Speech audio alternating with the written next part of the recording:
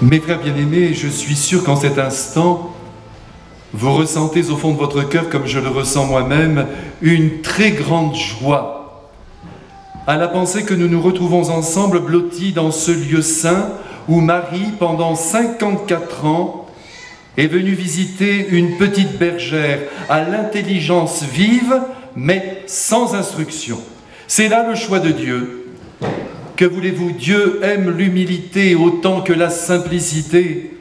Et quand il voit dans un être ces deux vertus réunies, il ne peut faire autrement que de venir à sa rencontre, et très souvent d'ailleurs à travers sa mère, la très sainte Vierge Marie, qui, soit dit en passant, en matière d'humilité et de simplicité, bat tous les records. 400 visites de la belle dame, vous vous rendez compte, rien que cela. Et il n'en a pas fallu moins pour faire passer l'évangile dans le cœur de la petite Benoîte. Rappelons-nous toujours que si Marie, à la demande de son Fils, apparaît dans un coin du monde, c'est toujours pour nous éduquer, nous ses enfants, de manière à ce que nous devenions de plus en plus beaux aux yeux de Dieu.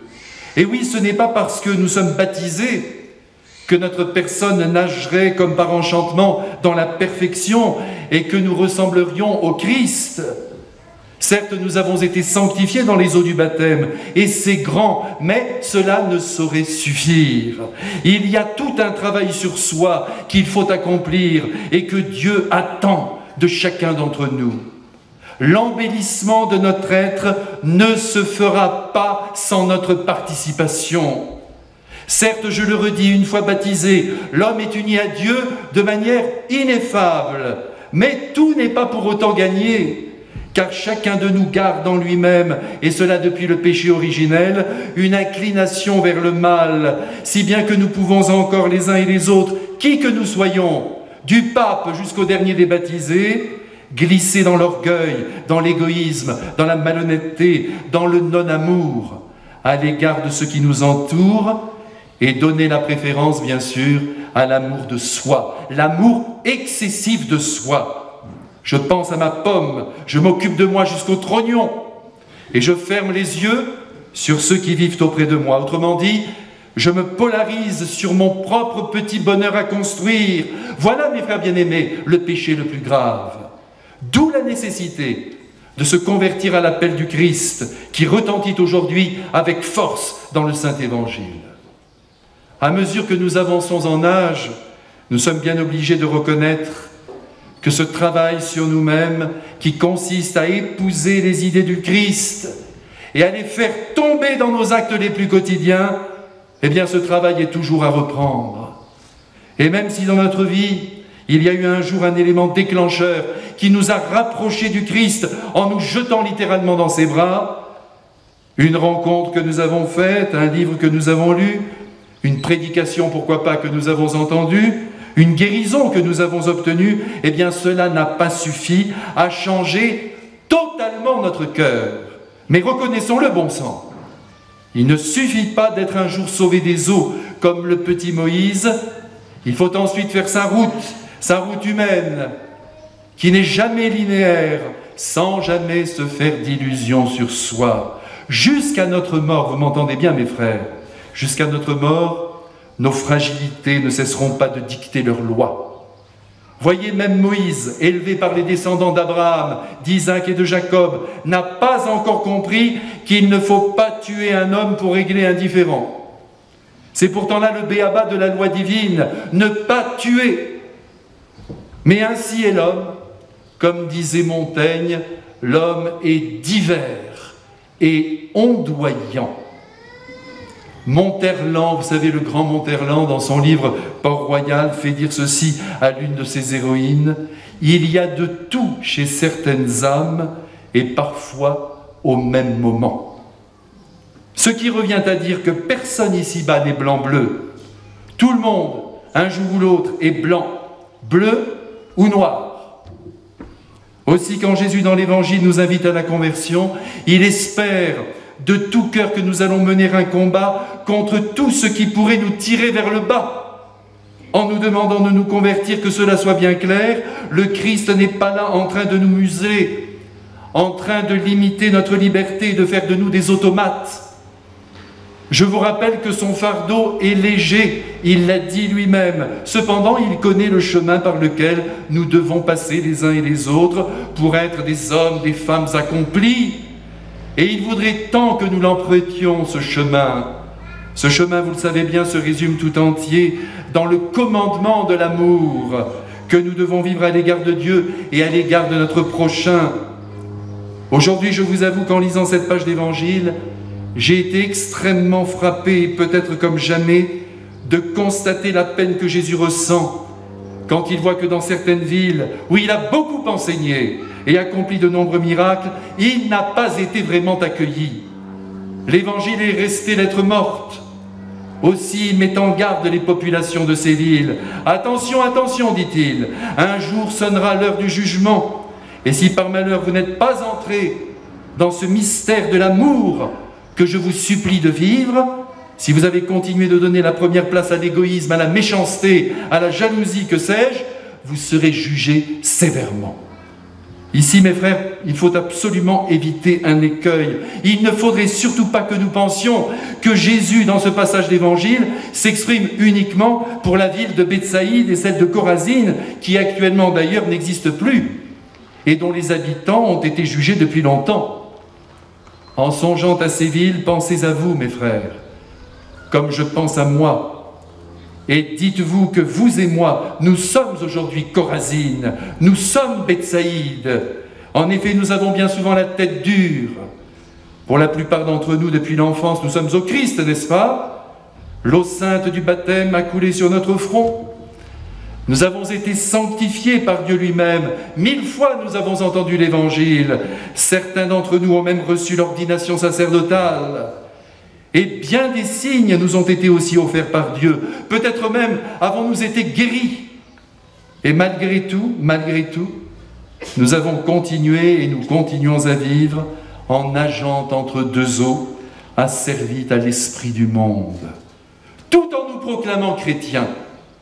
Cette tiédeur est un désastre, et l'on comprend alors que le Christ est pleuré sur ces deux villes, mais aussi qu'il puisse encore pleurer sur nous. Parfois, permettez-moi cette petite confidence, je vous avoue que j'ai peur de mourir sans avoir essayé vraiment l'Évangile. Laissez-moi prendre ici un exemple significatif. Comme vous le savez, le Christ nous a interdit de juger qui que ce soit. Interdit, vous m'entendez? C'est interdit.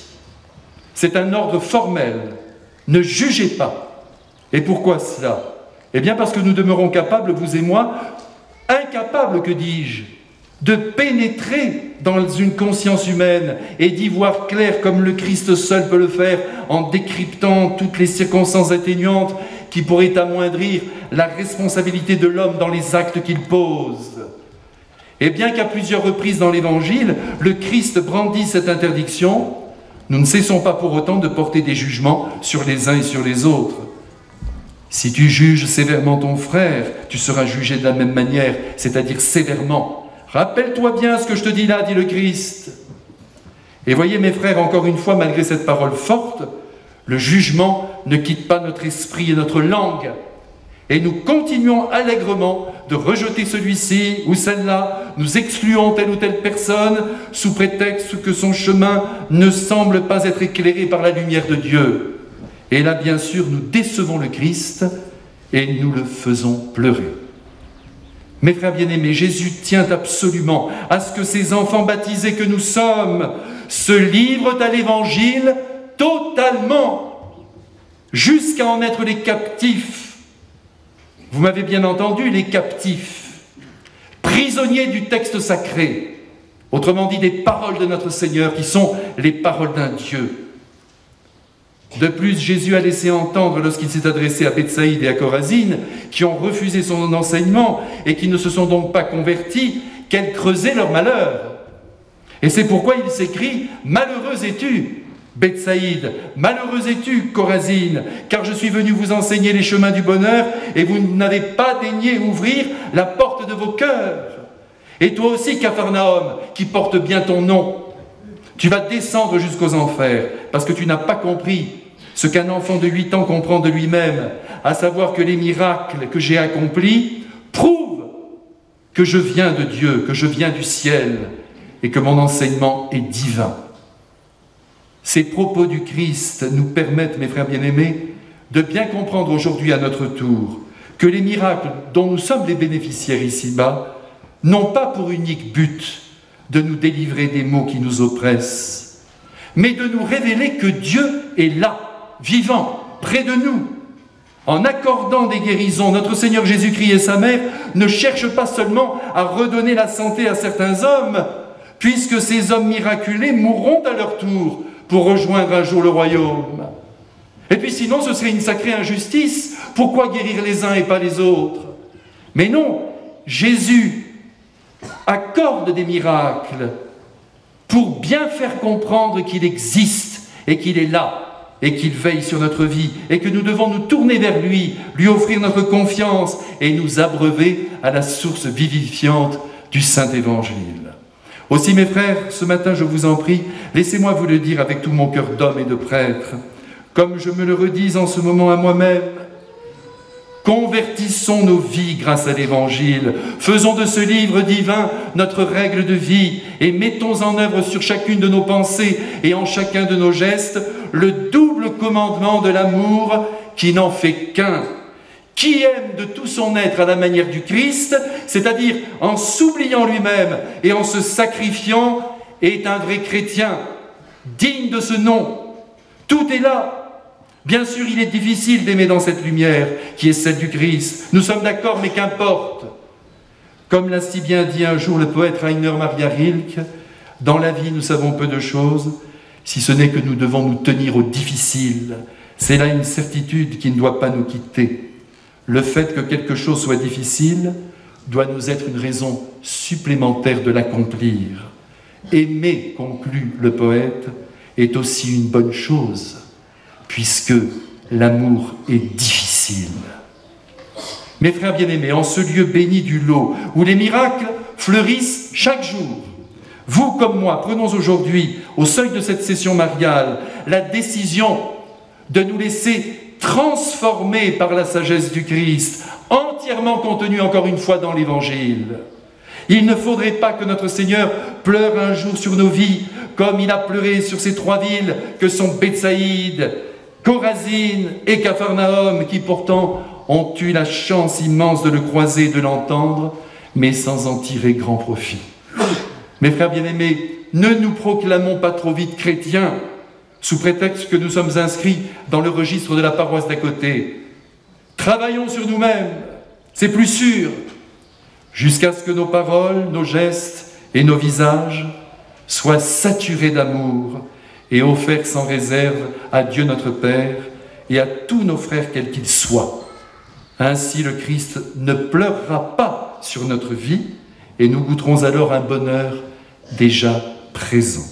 Quant au bonheur éternel, nous l'aurons déjà en poche. Amen.